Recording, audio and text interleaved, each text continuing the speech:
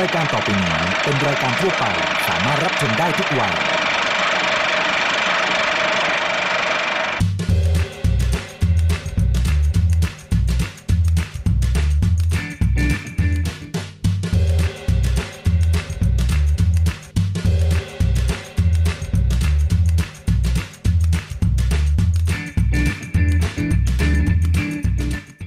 สนับสนุนโดยผลิตภัณฑ์ผลไม้ฟรุตเบรดและน้ำเชื่อมแต่งกลิ่นตราเนเจอร์เทส สวัสดีครับ พบกับรายการอดเปรี้ยวกินหวานนะครับ รายการที่จะมีเมนูเด็ดๆนะครับ ขนมหวานอร่อยๆ เครื่องดื่มดีๆนะฮะ มาให้คุณผู้ชมได้ชิมกันนะครับ อย่างมอคค่า soufflé ครับ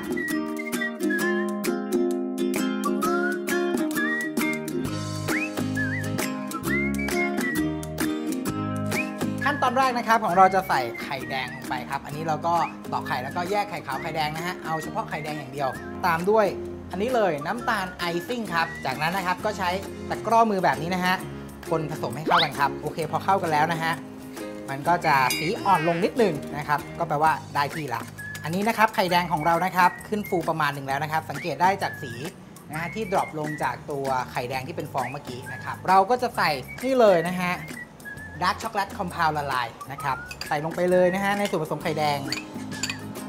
หลังจากเราละลายแล้วนะฮะต้องรีบใช้เลยเพราะว่าไม่อย่างนั้นเนี่ยมันจะผสมกันยากแล้วตัวช็อกโกแลตก็จะเป็นก้อนๆนะครับจากนั้นนะครับอันนี้จะเป็นเอสเปรสโซ่นะครับหรือว่ากาแฟ1ช็อตนะครับใส่ลงไปเลยครับจากนั้นก็ค่อยๆคนให้เข้ากันครับ สังเกตดูส่วนผสมของเรานะฮะ มันจะข้นน่ากินมากๆเลยครับ หลังจากที่เราผสมตัวมอคค่าของเรานะฮะจนเข้ากันแล้วนะครับ นี่ครับเนื้อเดียวกันแบบนี้นะครับ เดี๋ยวเราก็จะจัดใส่แก้วเสิร์ฟได้เลยครับโอเคนะครับ ใส่ลงไปครับ เราจะใส่จนสักประมาณ3ส่วน4นะฮะหรือว่าครึ่งหนึ่งก็ได้นะครับ เพราะว่าเดี๋ยวเราจะมีน้ำแข็งลงไปด้วยนะฮะเพื่อเพิ่มความสดชื่นนะฮะเย็นๆแบบนี้เลย ขั้นตอนนี้เนี่ยถ้าตอนแรกเราละลายช็อกโกแลตไม่ดีนะฮะก็จะเป็นคล้ายๆกับริมๆนะฮะแต่ว่าอันนี้ของเราเนียนกริบฮะโอเค ผมว่าประมาณนี้น้ำแข็งนะครับใส่ลงไปเลยครับเข้มข้นมากๆนะครับ น้ำแข็งไม่จมฮะเวลาทานก็อาจจะคนให้ตัวน้ำแข็งละลายนิดนึงนะครับจะได้เจือจางลงไปหลายคนมองว่าเข้มข้นมากอาจจะหวานมากหรือเปล่า อันนี้ก็คือแล้วแต่ความชอบเราปรับความหวานได้จากตัวไอซิ่งเนาะหรือว่าเราเลือกใช้ช็อกโกแลตที่ไม่ได้หวานมากก็ได้ ก่อนจะเสิร์ฟครับ ห็นแบบนี้นะฮะเราจะต้องเพิ่มความหรูหรานิดนึงครับ เป็นวิปปิ้งครีมนะฮะก็บีบเป็นก้นหอยขึ้นไปครับ อันนี้จะเป็นผงช็อกโกแลตผสมมอลสกัดนะครับ ก็ตามความชอบได้เลยนะฮะ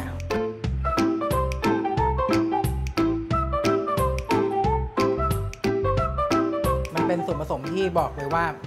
เข้มข้นนะครับแล้วก็หอมมันอร่อยมากๆ ผมว่าทำกินได้ง่าย ๆที่บ้านเลยนะครับ กับเมนูมอคค่าซูเฟ่ครับ และตอนนี้นะครับอาจารย์ยิ่งศักดิ์กำลังเตรียมทำเมนูอร่อยๆอยู่เลยนะครับ เดี๋ยวเราไปชมพร้อมๆกันดีกว่าครับว่าจะเป็นเมนูอะไร ช่วงอร่อยอย่างมืออาชีพ สนับสนุนโดยนกเหยี่ยวฟอลคอน ผลิตภัณฑ์คุณภาพจากผู้ผลิตโฟร์โมสต์อยากรับประทานพิซซ่าไหมถ้าอยากรับประทานหลายคนก็บอกว่าไม่เป็นไรแค่ยกโทรศัพท์เดี๋ยวพิซซ่าก็มาส่ง แต่เสียใจด้วย เพราะว่าพิซซ่าตำรับนี้ยกโทรศัพท์ไม่ได้ ไม่มีใครมาส่ง นอกจากคุณผู้ชมต้องทำเอง เพราะเป็นพิซซ่าครีมชีส รสชาติจะหอมอร่อยมาก เพราะว่าอาจารย์ยิ่งศักดิ์ใช้นมข้นจืดและครีมเทียมข้นหวานตรานกเหยี่ยวฟอลคอนฟอลคอนโฉมใหม่สูตรสำหรับปรุงอาหารและเบเกอรี่ ผลิตภัณฑ์คุณภาพจากผู้ผลิตเดียวกับโฟร์โมสต์วิธีทำครีมชีส ใส่ครีมชีสลงในภาชนะเนยสดชนิดเค็มน้ำตาลไอซิ่ง ครีมเทียมข้นหวานตรานกเหยี่ยวฟอลคอน ตีด้วยความเร็วปานกลาง ประมาณ 7 นาทีจนกระทั่งขึ้นฟูเตรียมไว้ วิธีทำพิซซ่า ใส่แป้งสาลีทำขนมปังลงในเครื่องตี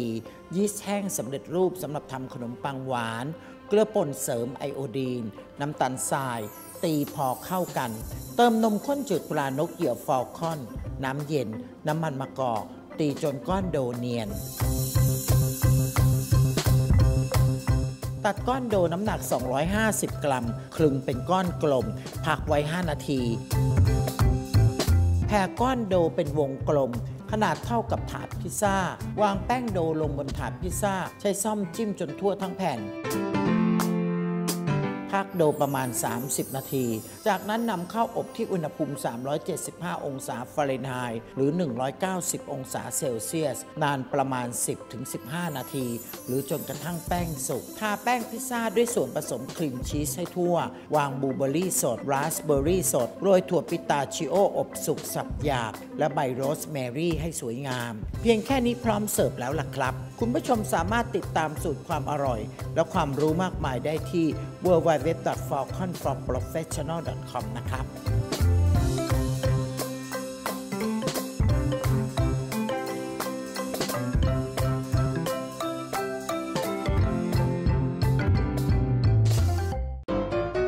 กับผลิตภัณฑ์ TFM วันนี้เรามีซาลาเปามันม่วงไส้ฟักทองเจมาฝากค่ะ เริ่มจากใส่เนื้อฟักทองนึ่งสุกบดละเอียดลงในภาชนะ น้ำตาลทราย เกลือป่นเสริมไอโอดีน ลูกจันทร์ป่น น้ำมันพืช แป้งสาลีชนิดพิเศษราบัวหิมะ คนตลอดเวลาจนส่วนผสมทั้งหมดเข้ากัน แล้วเติมฟักทองอบสุก คนให้เข้ากัน พักไว้ให้เย็นสนิทเตรียมไว้ ใส่แป้งสาลีชนิดพิเศษราบัวหิมะลงในภาชนะ ยีสต์แห้งสำเร็จรูปสำหรับทำขนมปังจืด ผงฟูและน้ำตาลทราย ตีจนส่วนผสมเข้ากันดี เติมมันม่วงต้มสุกบดละเอียด น้ำ เนยขาว สีผสมอาหารสีม่วง ตีต่อจนกระทั่งก้อนโดเนียนแล้วปิดเครื่อง ตัดก้อนโดน้ำหนัก 40 กรัมคลึงเป็นก้อนกลม แผ่ออกเป็นแผ่น ตักไส้ฟักทองเจ 20 กรัมลงตรงกลาง จับจีบแป้งให้สวยงาม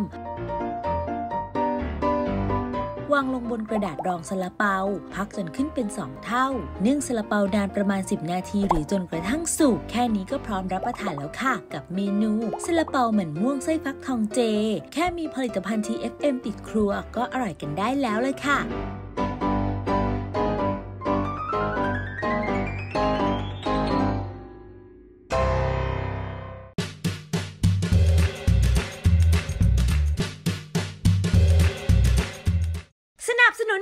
โลโบผงหมักไก่สไปซี่บิ๊กวิง ต้องบอกเลยว่าเค้กตะโก้ข้าวโพดกะทิสดของอาจารย์ตำรับเนี้ยอร่อยมาก ยิ่งถ้าคุณผู้ชมนะ ได้ข้าวโพดฝานใหม่ ๆ สดๆ แต่วันนี้อาจารย์ยิ่งสั่งไปตลาดไม่ทันน่ะ ต้องใช้ข้าวโพดกระป๋องล่ะ แต่มันก็อร่อยนะคุณผู้ชมทุกครั้งเลยพอจะทำเค้กคิดถึงไข่ไก่เลยแหละเพราะว่าต้องสดถ้าไม่สดนะ เค้กมันจะอร่อยได้ยังไงจริงไหมคุณผู้ชม ไข่ไก่สด สูตร Free Range Egg ปลา KCF เห็นไหมไข่แดงกลมกลมๆไข่ขาวก็แบบเป็นวุ้นสดเชียวคุณผู้ชม เราก็จะใส่น้ำตาลทรายลงไป Emulsifier หรือสารเสริมคุณภาพสำหรับการทำเค้กใส่น้ำเย็นจัดๆ ลงไปนิดเดียวนะคุณผู้ชม แป้งเค้กก็สำคัญ วันนี้อาจารย์ยิ่งศักดิ์ใช้ตราลิบบินนะคุณผู้ชม เราผสมแป้งข้าวโพดนิดหนึ่ง ใส่เกลือป่นเสริมไอโอดีน แล้วก็ใส่ผงฟูเบกกิ้งโซดา เสร็จแล้วก็เขย่านิดนึงคุณผู้ชม ผสมผสมเข้ากัน ก็เทลงไปได้เลย ผงโกโก้ หอมโกโก้อย่างเดียวไม่พอ กลิ่นวานิลาชนิดน้ำ แล้วก็มรกตไลท์นะคุณผู้ชม เราก็เริ่มด้วยความเร็วต่ำๆก่อน ผสมผสมเข้ากันแล้วก็ค่อยๆเพิ่มความเร็วให้สูงขึ้น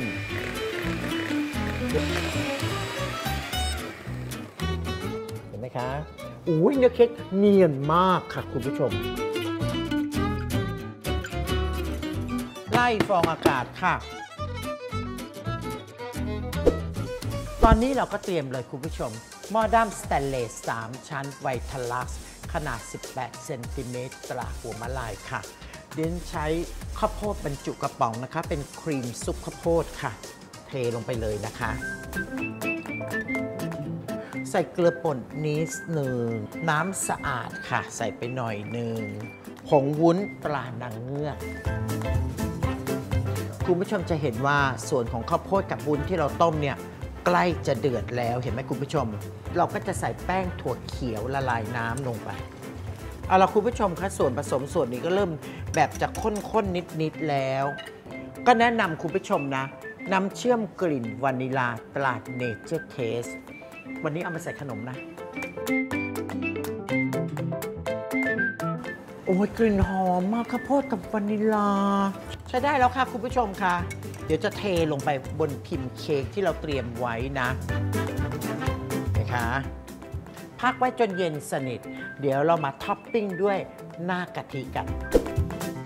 สำหรับหน้ากะทิดิฉันใช้อัมพวากะทิอบควันเทียนค่ะ คุณผู้ชมค่ะ เสร็จแล้วเราก็ใส่แป้งข้าวโพด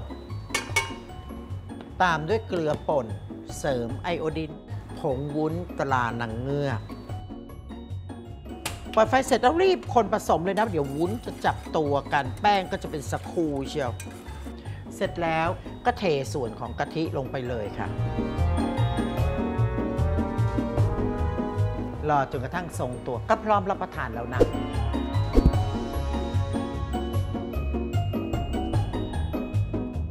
ไอ้เก๋จังเลย ยกไปปุ๊บสดชื่นปั๊บค่ะคุณผู้ชม กับตำรับเค้กตะโก้ข้าวโพดกะทิสด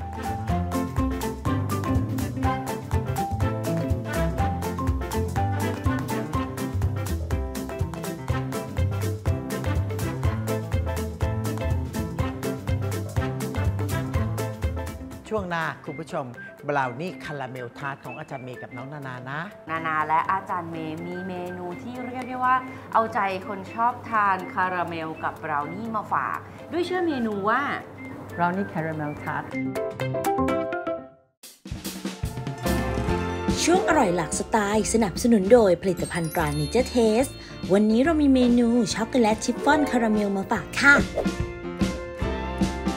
ใส่ไข่แดง น้ำมันพืชและนมข้นจืดลงในภาชนะ คนผสมจนเข้ากันดี เติมแป้งสาลีทำเค้ก ผงโกโก้ ผงฟู เบกกิ้งโซดา และเกลือป่นเสริมไอโอดีน คนจนเป็นเนื้อเดียวกัน เตรียมไว้ ใส่ไข่ขาวและ cream of tartar ลงในอ่างผสม เปิดเครื่องแล้วตีด้วยความเร็วสูงสุด ประมาณ 30 วินาที ค่อยๆ ใส่น้ำเชื่อมกลิ่นคาราเมลดายเนเจอร์เทส ตีจนส่วนผสมไข่ขาวตั้งยอดแล้วปิดเครื่อง ใส่ส่วนผสมแป้งที่เตรียมไว้คนต่ล่อมจนส่วนผสมทั้งหมดเข้ากันดี เทส่วนผสมที่ได้ลงในพิมพ์ที่เตรียมไว้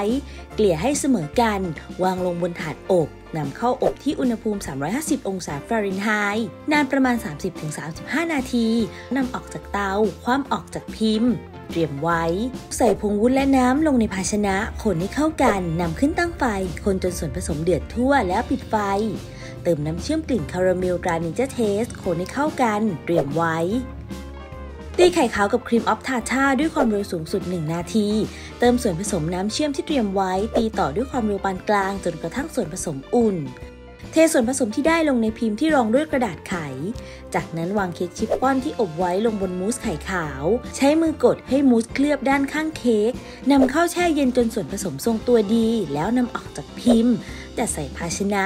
ราดด้านบนด้วยน้ำเชื่อมกลิ่นคาราเมลตราเนเจอร์เทส พร้อมเสิร์ฟค่ะ แค่มีน้ำเชื่อมตราเนเจอร์เทสไม่ว่าจะรังสรรค์เมนูอะไรก็อร่อยได้กลิ่นและรสชาติ คุณภาพเยี่ยมทุกเมนู น้ำเชื่อมตราเนเจอร์เทสยังมีให้เลือกหลากหลายกลิ่น สามารถสั่งซื้อออนไลน์ได้แล้ววันนี้ ช่วงอร่อยโดนใจสนับสนุนโดยผงวุ้นราหนังเงือก วันนี้เราขอเสนอเมนู วุ้นลอดช่องน้ำกะทิ ใส่ผงวุ้นราหนังเงือกและน้ำลงในภาชนะนำขึ้นตั้งไฟปานกลาง คนตลอดเวลาจนส่วนผสมเดือดทั่ว เติมน้ำตาลทราย คนจนส่วนผสมเดือดอีกครั้งแล้วปิดไฟ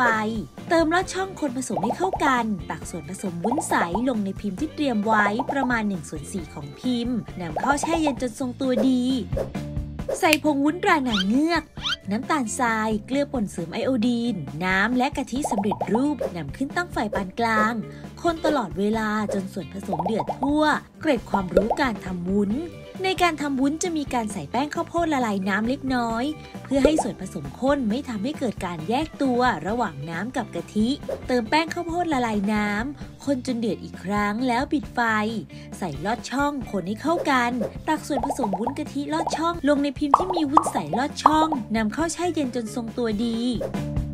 ใส่ผงวุ้นตราหนังเงือก น้ำตาลทรายแดงและน้ำลงในภาชนะนำขึ้นตั้งไฟปานกลาง คนตลอดเวลาจนส่วนผสมเดือดทั่วแล้วปิดไฟ ตักส่วนผสมวุ้นน้ำตาลลงบนวุ้นกะทิลอดช่องจนเต็มพิมพ์นำเข้าแช่เย็นจนทรงตัวดี ตกแต่งด้วยใบเตยให้สวยงาม พร้อมรับประทานค่ะ กับเมนูวุ้นลอดช่องน้ำกะทิ เมนูโดนใจจากผงวุ้นตราหนังเงือกค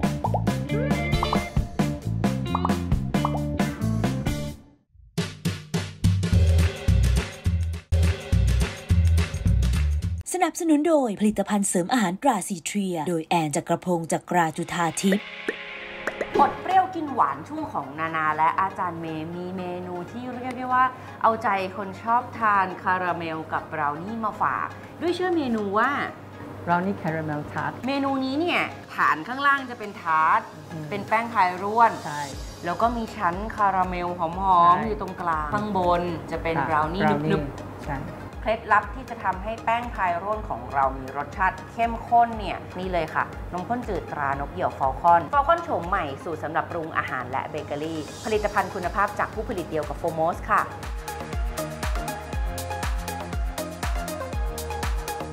อีกหนึ่งเคล็ดลับของเรานะคะ ครีมเทียมข้นหวานตรานกเหยี่ยวฟอลคอนค่ะ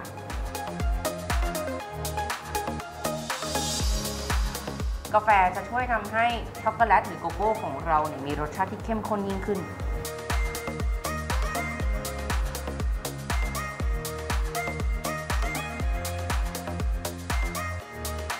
จากนั้นนะคะในอ่างผสมของเราใส่ส่วนผสมทุกอย่างลงไป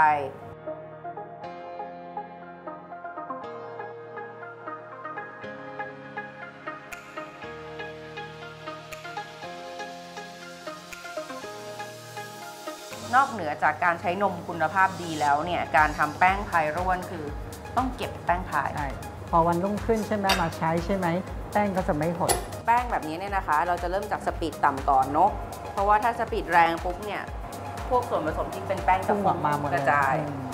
แค่เขาพอเข้ากัน speed แรงแป๊บหนึ่งอ่าโอเคเมื่อกี้นานาเร่ง speed หนึ่งทีนะคะเพราะต้องการให้ส่วนผสมเขาเข้ากัน จากนั้นเราจะพักส่วนผสมนี้เนี่ยนะคะนำเข้าตู้เย็นข้ามคืนค่ะ คาราเมลเนี่ยยังไงยังไงก็ต้องใช้น้ำตาลทรายนะใช่เราใส่น้ำตาลทรายลงไป ขั้นตอนต่อไป ด้วยความที่เราทำคาราเมลซอสนะ เราก็ต้องการให้เขาข้น การทำให้เขาข้นบางคนก็ใส่แป้งแห้งๆลงไปเลย วันนี้ไหนๆเราก็ต้องใช้อยู่แล้ว เราก็เลยเอานมข้นจืดตรานกเหยี่ยวฟอลคอนของเราเนี่ยนะคะ ผสมลงไปกับแป้ง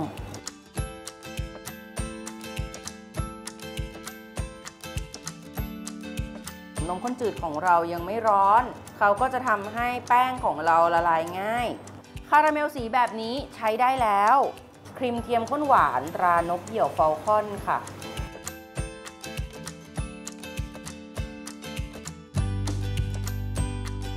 หลังจากได้คาราเมลสีสวยๆ แล้วตามด้วยเนยสดชนิดเค็มนะคะ นี่มันน่ากินมากเลยอะ เนยสดเริ่มละลายใส่นมข้นจืดตรานกเหี่ยวฟอลคอนของเราที่ผสมแป้งสาลีอเนกประสงค์แล้วนะคะ หลังจากนี้ต้องคนตลอดเวลาแล้วนะ เดือดแล้วปิด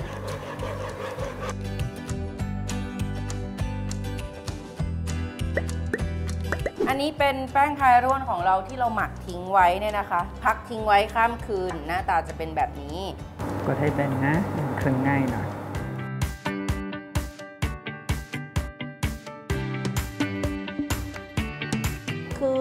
ว่ามันอร่อยอะเพราะว่าแค่เห็นสีแป้งพายก็รู้แล้วว่าว่าเข้มข้นมากโรยแป้งนิดนึงนะคะทำให้การทำงานง่ายขึ้น เพราะว่าเราใช้เนยสดหมดเลย อากาศเราร้อนนิดนึง เพราะฉะนั้นมันก็จะทำให้เวลาเราหยิบจับของเนี่ยง่ายโอเคมันบางนิดนึงนะ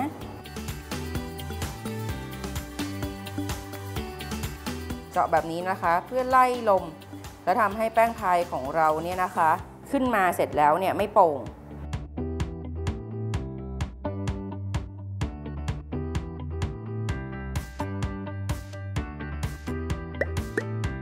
อันนี้เป็นแป้งพายของเราที่อบสุกแล้ว พอไหมมามิพอ จะมีหน้าบราวนี่นึบๆอยู่ข้างบนนะคะ มาบราวนี่เนี่ย หลายๆคนก็น่าจะทราบดีอยู่แล้วว่าบราวนี่อร่อยๆเนี่ยต้องเนยถึงช็อกโกแลตถึง เราก็ใช้เนยสดชนิดเค็มใส่ลงไป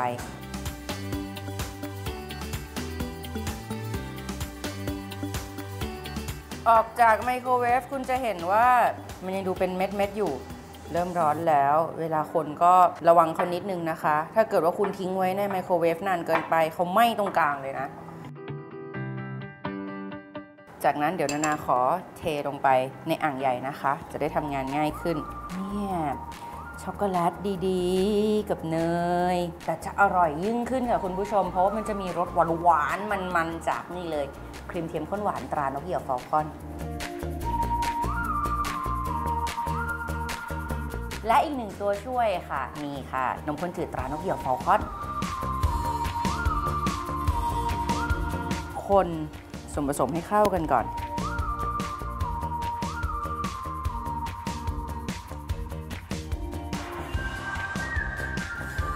คุณจะเห็นว่าเนื้อเขาข้นขึ้นแบบนี้ จากนั้นนะคะ อันนี้เป็นแป้งสาลีเนกประสงค์ผงฟู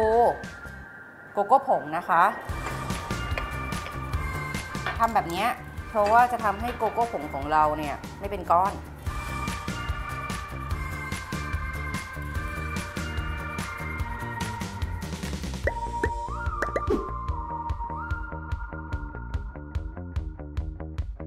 จะเห็นว่าเราใส่อะต่ำกว่าขอบนิดนึง เพราะว่าเดี๋ยวเนื้อบราวนี่ของเราเนี่ยเขาจะฟูขึ้นมาหน่อยนะคะ แต่เราอยากให้เขามีอะไรน่ารักน่ารักข้างบนหน่อย อร่อยด้วยก็คือเม็ดมะม่วงหิมพานต์ค่ะ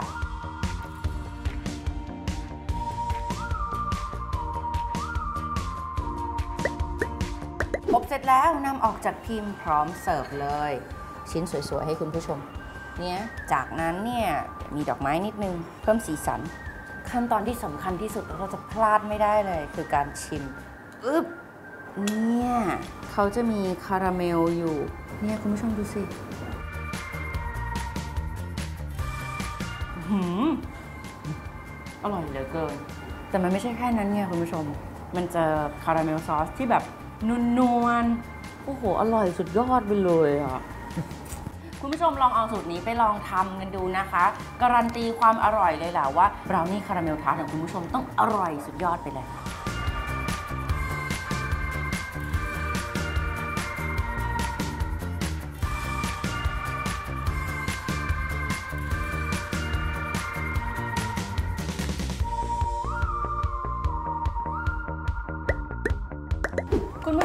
รายการอดเปรี้ยวกินหวานวันนี้หมดเวลาลงแล้วค่ะ กลับมาพบกับพวกเราได้ใหม่ทุกวันพฤหัสค่ะ เวลาบ่าย3ามโมงยีนะคะ ทาง Workpoint TV หมายเลข 23 วันนี้นานาและอาจารย์เมย์ขอตัวลาไปก่อนนะ สวัสดีค่ะ จากนั้นนะครับเราก็จะนำวิปปิ้งครีมที่เราเตรียมไว้นะฮะมาบีบข้างบนอืมเรียบร้อยแล้วฮะคุณผู้ชม Dreaming Green Tea ไส้เนี่ยมาได้ยังไง บางคนก็อุ้ตายทำไมไส้มันเข้าไปข้างในเยอะจัง อุ้ยโบเลยค่ะ ชาไทยพร้อมกับหัวบีบค่ะ อุ้ตายอันนี้ใส่เยอะมาก อุ้ยจุเชียว เปรี้ยวปรีส